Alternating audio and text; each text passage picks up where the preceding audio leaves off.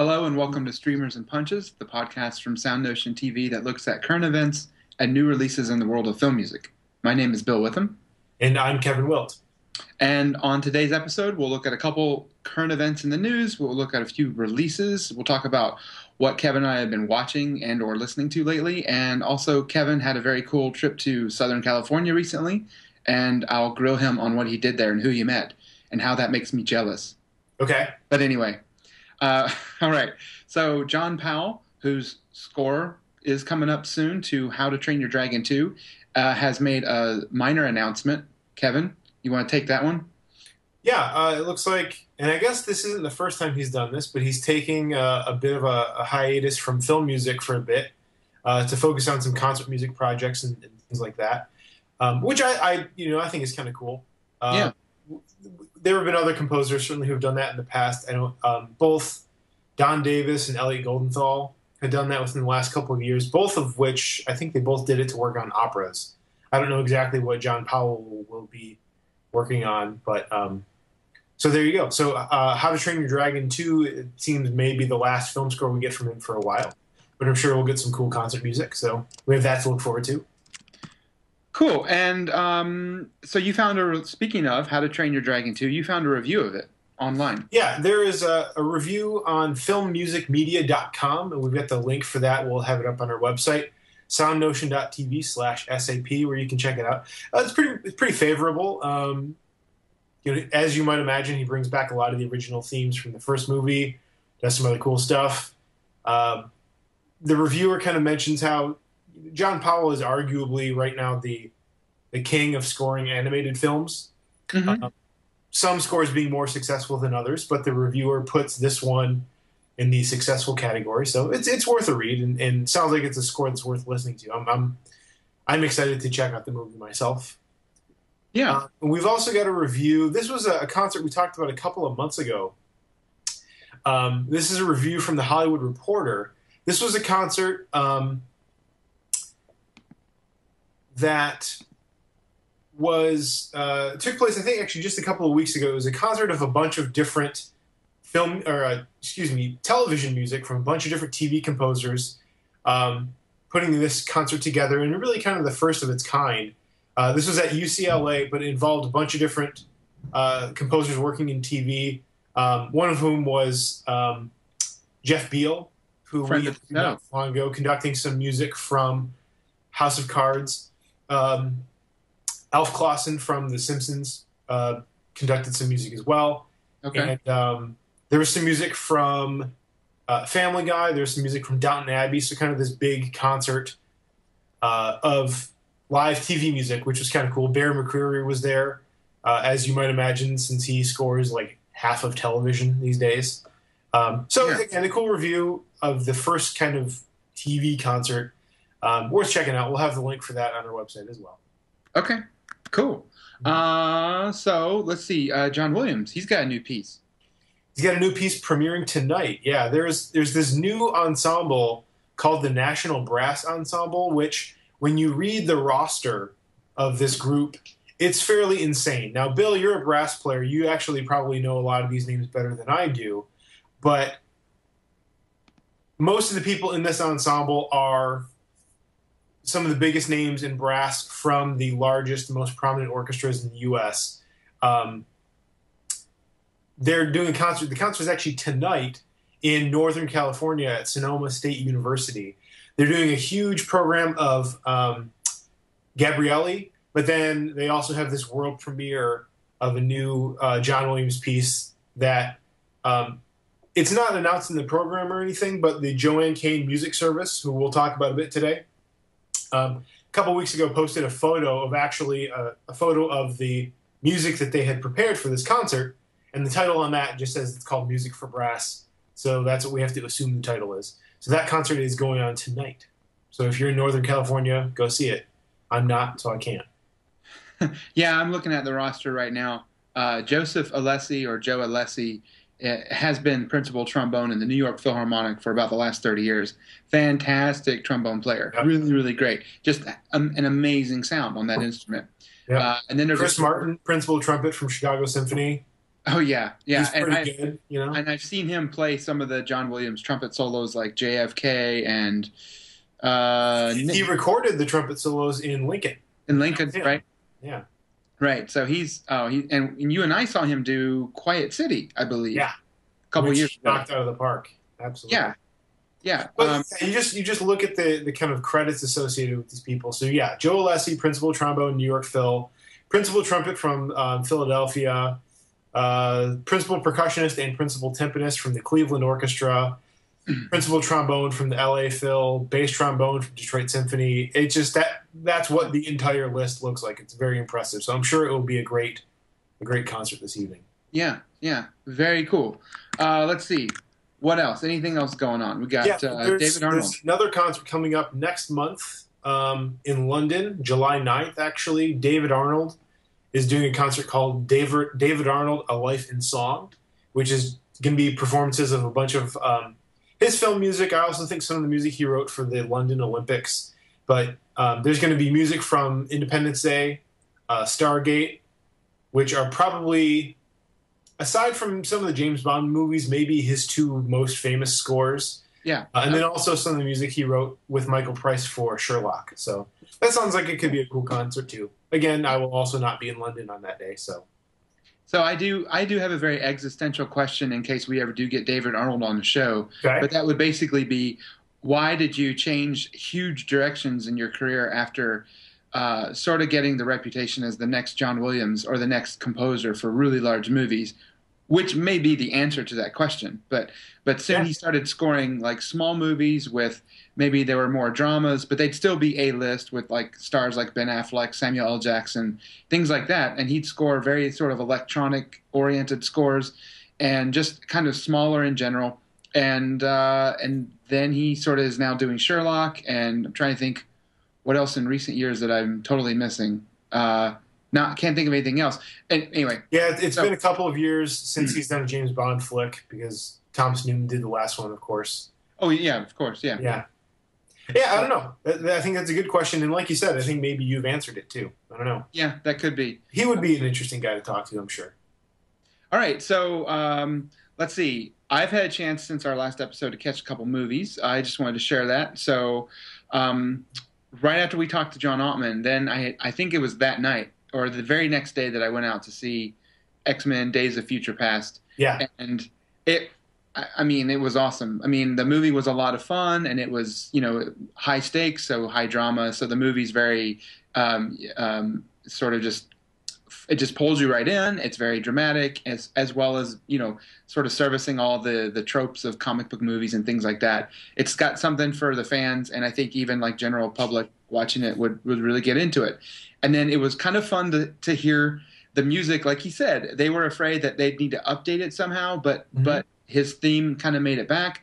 So in a way, it was like this movie set everything back right with the X Men movies, which if both both in terms of like universe and in terms of music. You mean? well, it's funny because by the time the movie's over, it's like they kind of washed away memories of that bad X Men movie, Yeah.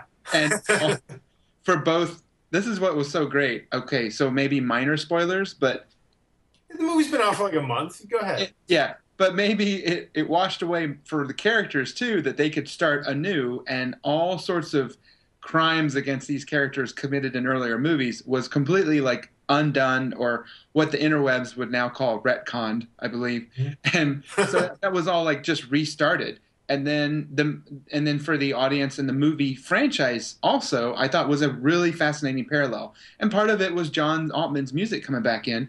It did. It sat. It just. It sat well. It, it sat right, and it felt correct at the beginning. Of course, I do love part of um, uh, John Powell's score, parts of John Powell's score, and and some of his cues for um, the X X Men. What was it? X Men Three: The Last the Stand last stand, right? Yeah. yeah, I enjoyed the, sort of the different, sort of the, the slightly different approach thematically, but although it was still sort of ramped up, minor key, lots of brass, it had a very similar um, sort of texture to it. But anyway, so that was cool, and it was really awesome having just gotten to talk to him the very next day. There's his name on the screen as editor and composer, and then we we hear the work, and and it was tightly edited too. I thought the editing job was fantastic. The movie just really moved at a good clip, mm-hmm. and it kept me pulled in and caring about what was going to happen to the characters all the way through. Um, I also had a chance to catch uh, Edge of Tomorrow, the new Tom Cruise sci-fi movie, which just came out last weekend with a score by Christophe Beck. Uh, now here, this is the sort of you know the underhanded comment to film composers, but I didn't notice the music throughout. I actually let the movie just kind of grab me, and that did a that movie did a very good job. I was really concerned all the way throughout for what was going to happen to the characters.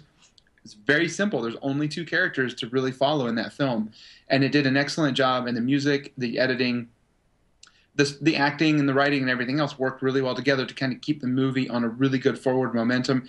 And it didn't miss an opportunity to have like sense of humor and then also like high stakes. So it had a lot of similarities in some ways to the x-men film. But christophe beck's score was i think it was it was there everywhere it needed to be and just kind of you know provided the right punch. Mm-hmm.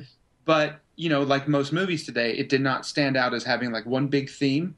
I i didn't feel that i was getting um, kind of served up something musical that I needed to like remember and take away. So in that respect, it sort of just followed the today's modern mm-hmm. approach to action scoring. I, I, think I think I generally have that reaction to his scores. I mean, he he scores a lot.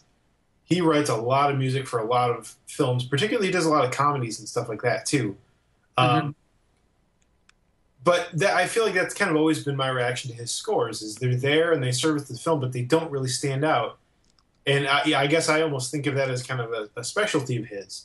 Um, but like you said, not in a bad way. I mean, yeah, it's it's the films seem like they're always served by um, the music, but most of the it seems to me most of the scores that he's writing, or at least most of the films he's writing for, uh, again, particularly I think some of the, the kind of slapstick comedy stuff, um, the score really isn't isn't the point. Um, and so in that sense, because it doesn't stand out, it's kind of doing what it's supposed to do. Yeah, yeah.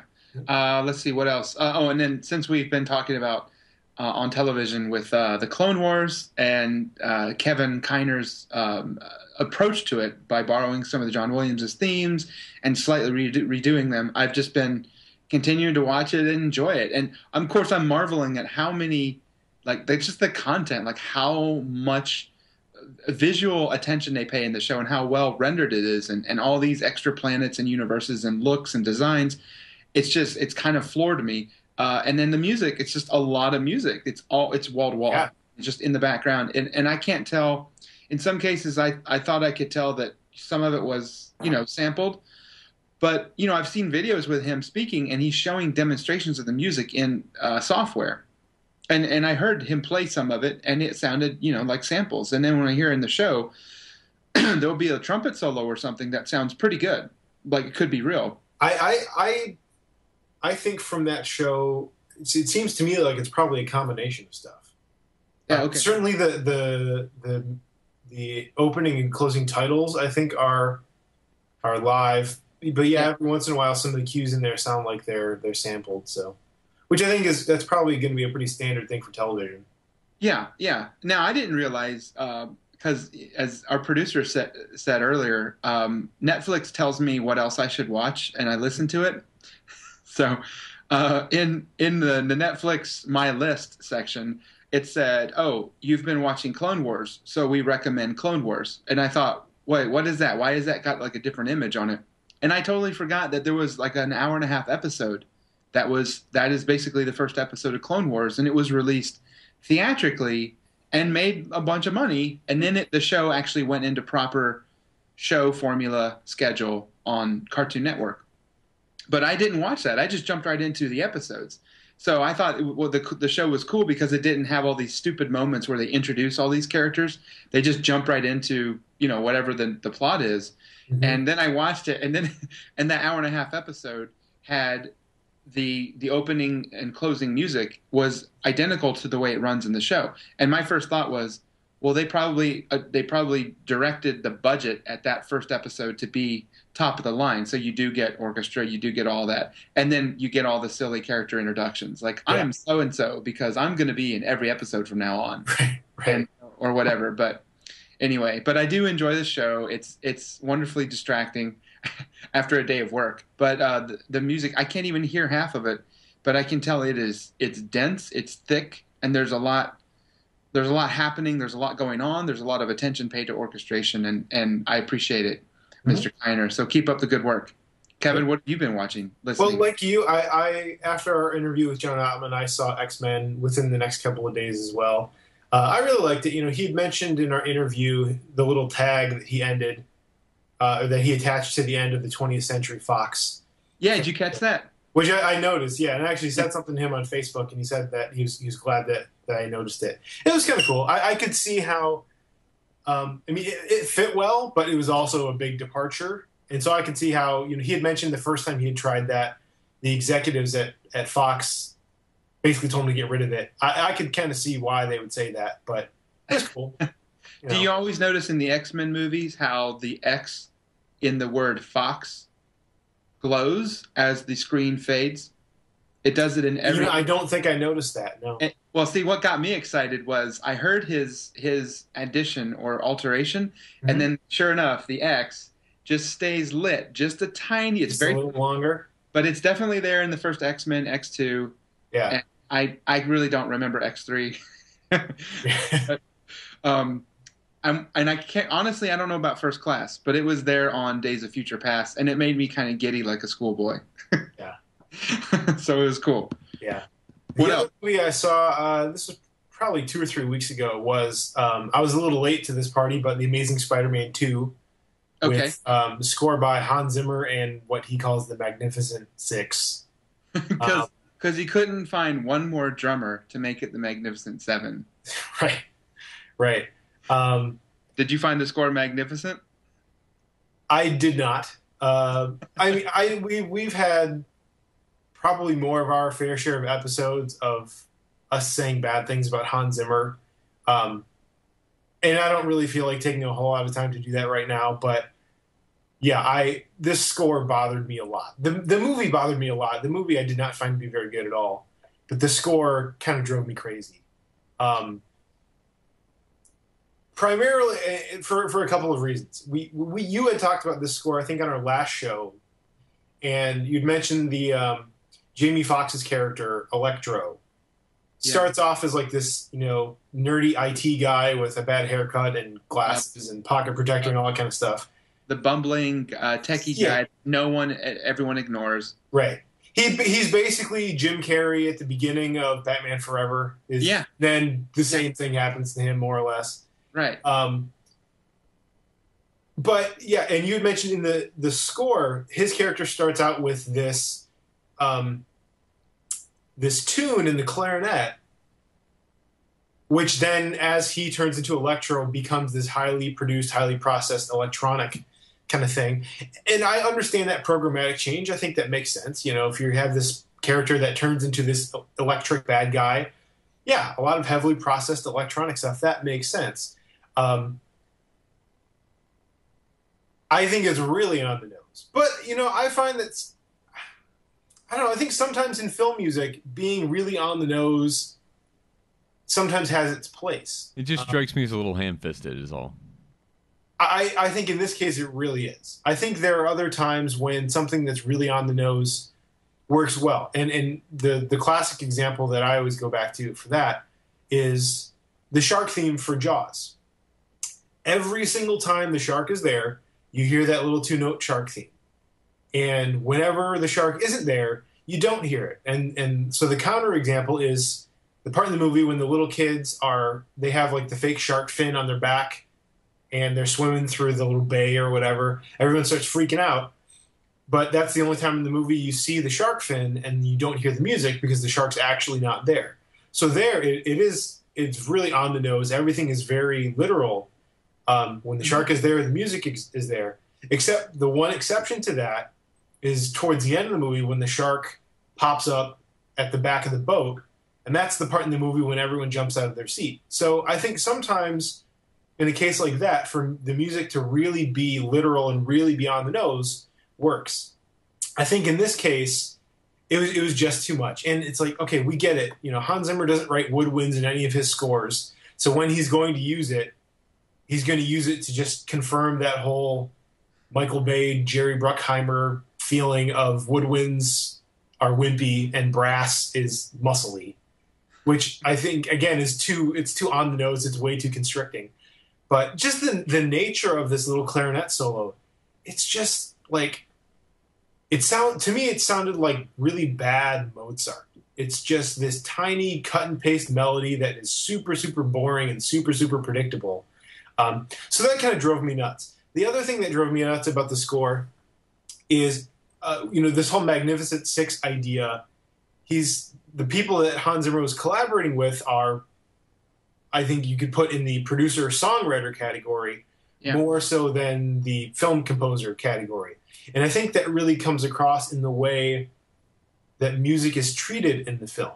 It's a lot of it isn't. I mean, yeah, there are big action scenes and stuff where there's a lot of loud underscore, but most of the time when you're hearing music in the film, it's almost in a now here's a pop tune music video kind of way, which I found really disrupting. It's there's a lot of stuff going on in that movie. It's it's a lot like Spider-Man 3 where there are just too many bad guys and too many plot threads and stuff going on. But then on top of it, you have all of these um, almost these musical timeouts where Peter Parker is sad and alone and you know walking down a street or in his room or whatever, and you just have this kind of pop tune music that really isn't driving the scene. It's just kind of making you wait, and it almost reminded me of like an aria in an opera.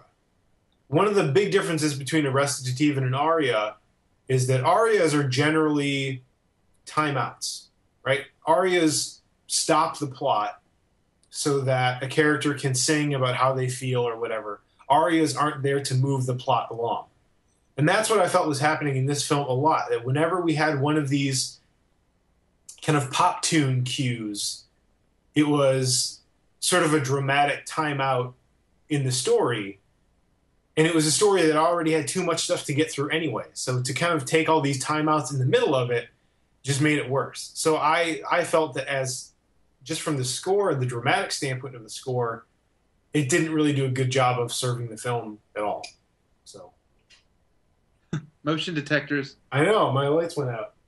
that was perfect to come in right at the end of your final word on the score to Amazing Spider-Man 2. Yeah, that's right. I, I think just to add a little commentary to it, and I'm I'm not saying this to to to totally join up with you and jump on them, but it does feel like the you know the musical ideas, like if you take the the clarinet idea or even the trumpet idea, that's that sounds sort of like a guitar idea, but just reorchestrated for trumpet. Mm-hmm. Um, it does kind of feel like that's like a quick first draft of an idea Yeah, and that Hans Zimmer takes on so many projects now that he has no time to give a second draft. That he has no time to to rethink something and say, well, you know, this first idea I had was okay, but I can do better. It doesn't feel like that. It feels like that first draft idea is real simple and almost paper thin, and we're just going to go with that. But Right. I'll rely on the orchestrators in my, you know, my amazing studio Yeah. to kind of dress it up.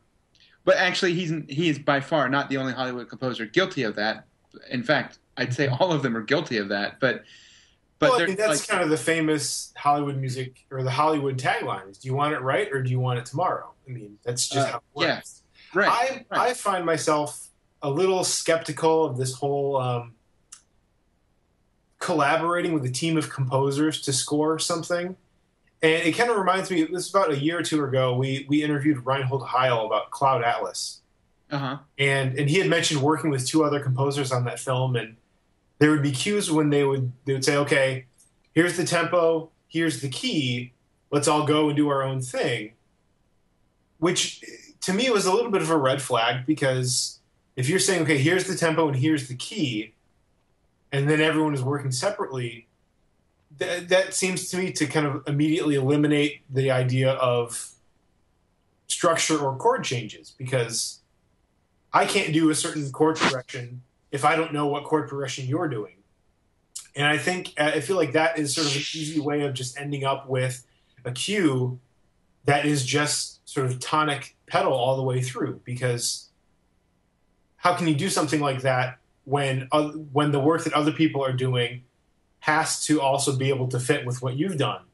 Um, and I feel like that was probably a lot of what was going on with this score is when you you've got six people working on music at the same time. I feel like that that limits some of the types of musical decisions you can make. You know, if it's one person composing, they can make a sharp turn or, or a dramatic twist or something. But if you're working with a whole team of people, each each contributing to the same cues, or maybe they each contributed to different cues. I don't know. I just I'm I'm curious about how the mechanics of all that works, and I think here it didn't work so well. I think what he probably did was similar to the Man of Steel, where he just kind of had a lot of instrumental involvement over kind of like a mapping out, where he kind Yeah. of probably already knew So what was like going to happen. group, group improvisation kind of stuff. Yeah, so it pro- and, and of course Thomas Newman has been doing that a lot. Um, Yeah. Let's see, I'm trying to think of anybody else really famous. John Williams doesn't. Jerry Goldsmith did not. Danny Elfman does not. James Horner does not.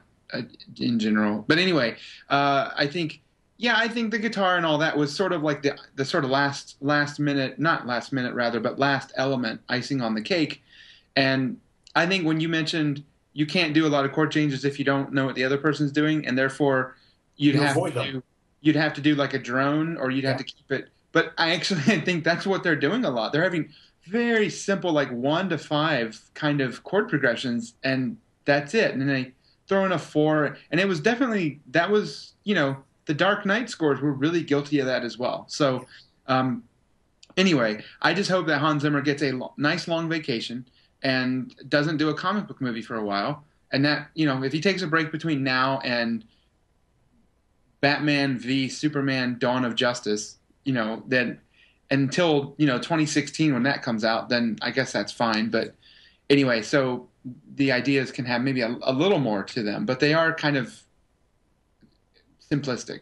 Um, Yeah. And anyway, so all right, uh, let's see what else. Oh, oh, so any other movies, any other TV shows you want to talk about? No, I, I think those were the two big ones for me. Okay, uh, there's been some cool CDs coming out. Um, well, we already mentioned How to Train Your Dragon, so I'll give a disclaimer. It's technically not out yet, but do pay attention for around the 17th of June. That's when it's scheduled for release. But there have been next Tuesday. I would imagine that that's what that is, right? Uh, let's see. So 12 Sounds plus. Yeah, yeah. So that'd be next Tuesday. Yep. And then uh, now you mentioned having film composers write classical music, and I just recently purchased one, but I am guilty of not having had a chance to listen to it yet. And special props go out to uh, Scott Glasgow for pointing me to this. But uh, this is the Stonecutters, a string quartet by Elliot Goldenthal. Really? Yep. That sounds and, cool. Yeah, and I'm looking forward to checking it out. It's also got his uh, brass quartet number two, three piece, uh, three pieces for piano, and sonata for double bass and piano. So it's kind of like the Elliot Goldenthal classical album that you didn't know you wanted, but secretly kind of did. But now I want it.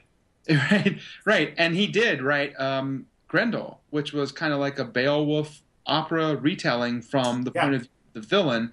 And I don't know yet if that's been released, but I've heard amazing things about people that had a chance to, to check out the opera. So, anyway, so not Grendel, rather, but The Stonecutters is out now. You can order it through Amazon.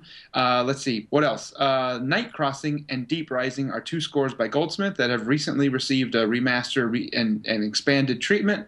They're both now available. The Peacemaker uh, has a two CD version, and I don't know if anyone, any of our listening audience is old enough to remember That was I remember that one. That was uh, George Clooney and Nicole Kidman, right? Yeah. Yeah. uh, an action movie, and you don't see Clooney really do anything anything like that anymore. Mhm. Um, but uh, Hans Zimmer scored it. That was like right. I remember right when like Spielberg and Geffen and all those guys got together for DreamWorks and they created the company. Mhm. That was. I remember that kind of being like one of their first big, big produced movies. Anyway, so that's out and it's a two CD treatment. Altered States. Speaking of another classical composer, John Corigliano, that's one of his most who was the teacher of Elliot Goldenthal, who Uh, just yeah. a moment ago. Yeah, exactly. And so there has been a new kind of treatment of Altered States. I, I believe it to be more of a remastering than an, an expansion. Uh, And then Daryl, if anyone, and of course, this is going even further back into the 80s, but um, that uh, with the score by Marvin Hamlisch is now available. And then uh, recently, to bring it back up to modern day, the DC most recent DC animated movie, Son of Batman, with a score by Frederik Wiedmann uh, is now available as well. So those are some cool new things coming out, um, and check those out if you can. I've got a few of them ordered, so I haven't listened to any really any of them yet. Um, or I did see the uh, the bat the son of Batman, mm-hmm. and it mm-hmm. was uh, that was pretty cool. Uh, let's see what else we got. Uh, oh, so Kevin. Yeah. So for our for our listen for our listeners, check this out. So Kevin recently went to Los Angeles yes. because he's like a secret agent. I don't know. Can you talk about why you went there, or? Sure. I I, I basically went there uh, um, on a research trip. Um, I had uh, a couple of composition lessons with a few different composers, uh, some of whom I, I, met actually while doing this podcast. So um, some some friends of the show, which was very cool. Um, and I did some touristy things and saw family, but a lot of it, it was I was kind of lunch meetings and lessons and stuff like that, which was a lot of fun. I, uh, I had a lesson with Bruce Broughton, who was our very very first guest in this podcast, who was great. Uh, it was really cool because I walked in, into his studio and just on the shelf, right, right in, inside the door, were like his ten Emmys, and they were enormous and like glowing and gold and stuff. It was very cool. Uh, and then I there was I, a choir singing when you yeah yeah it just it was it had you know motion sensor so you walk in and that that track starts up. It was cool. Um, I had a, a, a, nice chat with Conrad Pope, who we talked with a few months ago. Also a very nice guy. Um, yeah. I had um, I met with uh, a guy I've known for a couple of years, John Dickson, who um, has done a lot of work in TV. He wrote music for the series Burn Notice for many years. Um, there was a show a couple years ago called The Good Guys with Colin Hanks and Bradley Whitford. He did music for that one as well. And I think it only lasted one season. Um, totally underrated and an awesomely funny show, by the way. I thought it was pretty funny, yeah. So, and it so yeah, it, it should have survived. Yeah, so it was kind of talking shop with a lot of those people. Um, had some interesting conversations about uh, sort of their thoughts on on the status of film music right now and things like that. Uh, I also took a, a, lovely guided tour of the JoAnn Kane Music Service, which was an awesome place to go to. Um, so thanks to uh, Eric Swanson who kind of showed me around that place. Um, so yeah, that was that was my trip. It was it was great. Did you get to look at any music while you were at JoAnn Kane? I did a little bit. There was I was sort of peeking at some stuff that was lying about. Um, they had uh, on one of their tables just a, a stack of um, scores from John Powell's uh, How to Train Your Dragon 2, which were sitting there from having been recorded a couple of weeks ago. Um, they had some just loose, handwritten, very interesting handwritten score pages of uh, some of Alan Silvestri's music for the first episode of Cosmos, which was orchestrated by William Ross, who a very famous orchestrator out in LA. He's been music director for the Oscars the last couple of years. Um, I thought it was fascinating that he, you know, here is this music that was only a couple of months old, but I was looking at a, you know, a handwritten full page of orchestration, which is not something you see terribly often. So, uh, and then, but their their archives they also house um, the archives for 20th Century Fox. So you walk around and you see a big box with the score and parts from Star Wars, which is now like my Facebook photo that I had to take a picture of. Um, but you know, Jerry Goldsmith, um, Alien, that score was sitting there. Um, all the John Williams stuff, you know, Star Wars Episode Three or Minority Report. So it was cool to just kind of walk through their archives and see the types of things that they, they have in storage there. But it was also really neat to, to see what they do and and all that kind of thing and talk about kind of their work process and all that kind of stuff. It was really neat. Cool. Yeah. And then you had a picture with the Batmobile, which I'm also jealous of. Oh, that's right. Yeah. I, I was at um, the Warner Brothers studio, and one of the things on their tour is they have a soundstage. They call it the Bat Cave. It's just a soundstage with like a couple of black lights but they have all of the um, the movie Batman vehicles. Uh, they have all the Batmobile plus like a boat from Batman and Robin or Batman Forever or something, and they have the the Bat Pod from The Dark Knight. The only Batmobile they didn't have, they, they I don't think they had the Adam West Batmobile. They didn't have, uh, and I think this was by choice. They didn't have the George Clooney Batman and Robin Batman. That, that's the is it the the Adam West one? Is that the ugly orange one? That's the black and orange one. Yeah. Yeah. Um, but the, the yeah the George Clooney one from Batman and Robin they did not have, and I, it's probably in part because they don't want you to remember that that movie happened. Um, but the cool thing about these Batmobiles that they had were that these were not reproductions or anything like that. These were the picture cars. These were the cars that they used in the movies, which was neat. And so I yeah I took my picture in front of the uh, the Tim Burton Michael Keaton Batmobile and sent it to Bill to make him jealous. So Okay, mission Yeah. accomplished. yeah, I thought that would work. All right, and so you're all back in uh, you're back in Florida now. You're all done with that. I'm back in Florida now. Yes. Okay. All right. Um, okay. Well, uh, so we were thinking about what's going on for the rest of the summer, and we realized we're about halfway through. So Yeah. uh, ha- the summer season, if you look at it from one angle, it seems to most of like the big tentpole comic book movies have kind of all played out. But there are still some few things we're looking forward to seeing in the rest of them. And we just thought we'd give kind of a sh- quick shout out to some other things. Um, so uh, let's see. I was kind of thinking, hey, uh, Guardians of the Galaxy's had a couple really great trailers, and I'm really excited. Mhm. And that kind of goes for the whole thing. I want to, you know, see what Tyler Bates is going to do for a score, and just see the movie in general and enjoy it. Um, Kevin, you got uh, one or two you're thinking of. Yeah, I you know the uh, I think it's next month. Um, Dawn of the Planet of the Apes comes out. Now the first movie was scored by Patrick Doyle. This one round will be is or has been scored by Michael Giacchino. I'm pretty sure they're done recording all that stuff already. Um, so I, I'm looking forward to that. You know, Michael Giacchino's scores, you know, his Pixar scores are, are usually pretty great. Some of his other scores maybe not quite as good, but I'm I'm still always looking forward to what he's doing. I'm looking forward to that one. I'm pretty excited about what he's going to do for Jurassic Park, which comes out uh, according to there was a thing on Twitter today. It comes out a year from today. So Oh, Jurassic World. Jurassic World, yeah. Oh, okay. Yeah.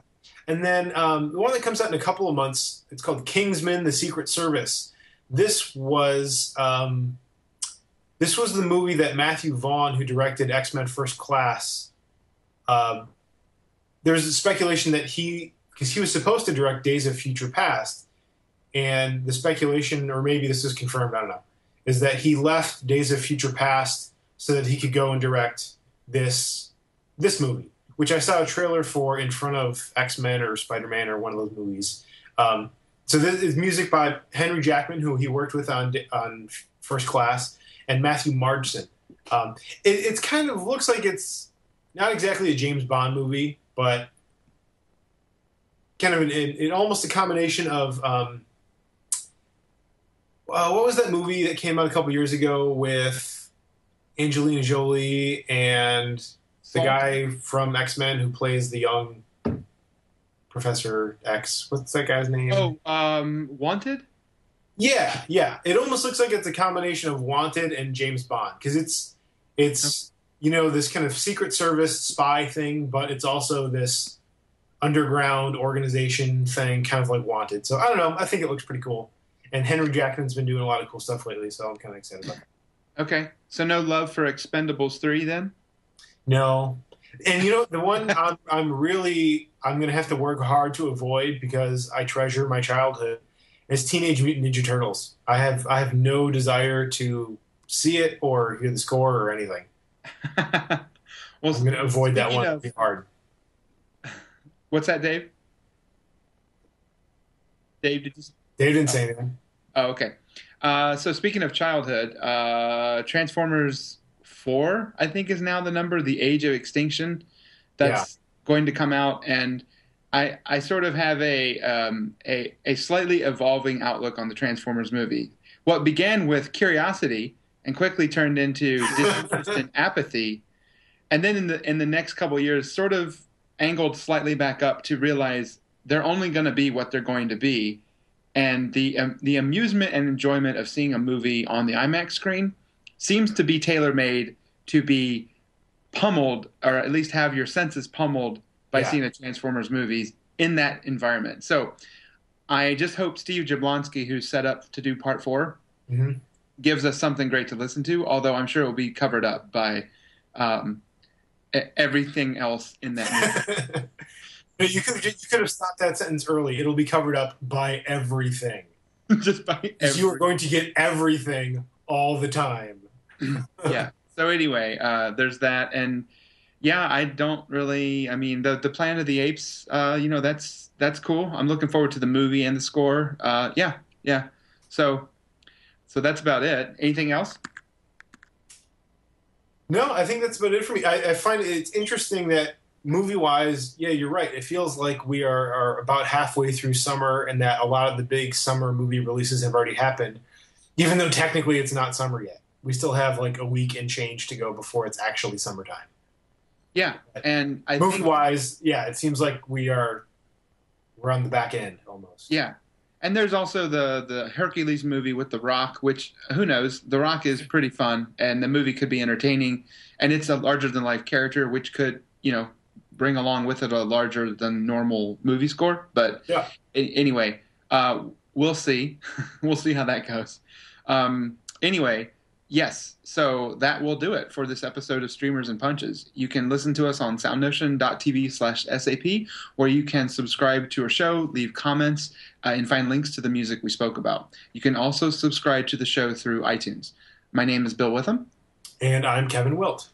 and thank you for listening.